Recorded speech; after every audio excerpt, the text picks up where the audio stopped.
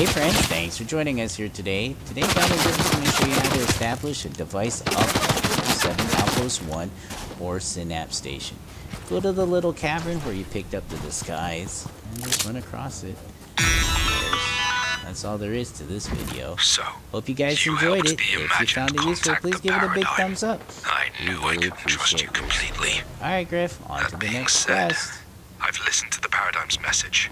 If she's right, she really has detected energy fluctuations with that signature, we're in dire straits. I need you to pick up a sensor backpack and go to Loot Lake.